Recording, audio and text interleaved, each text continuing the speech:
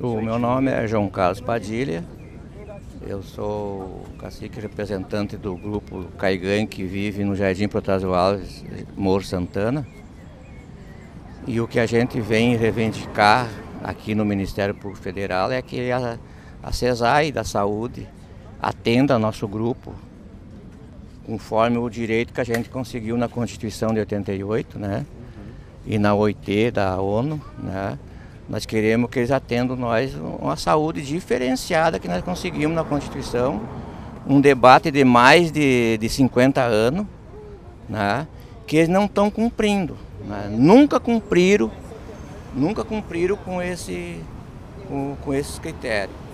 E tentando jogar nós para o sul sempre. Né?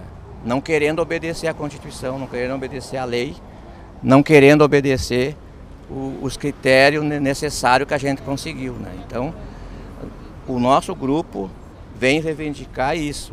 Né? E também vamos reivindicar a demarcação de terra para o que foi expulso do campo para a cidade, quase todo a pobreza que morava no campo, e hoje estão afavelados em volta de Porto Alegre, das capitais brasileiras, virando morador de rua, né?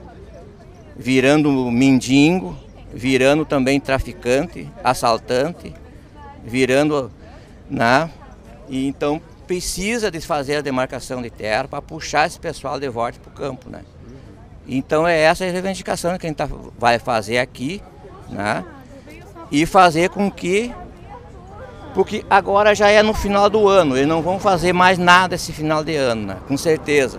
Mas pelo mínimo que fique afavelado, digamos, afivelado, né? um documento, né?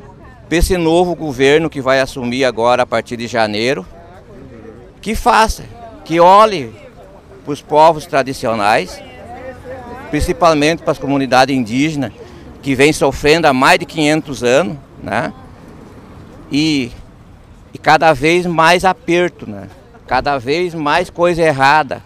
Né? Então é isso que a gente precisa de fazer e o nosso grupo vem reivindicar isso, né? A gente sabe que até o final do ano não vai sair nada. Né? Eles fazem essa reunião no final do ano para não acontecer nada mesmo, né? Mas a gente quer deixar um documento pronto para o novo governo fazer.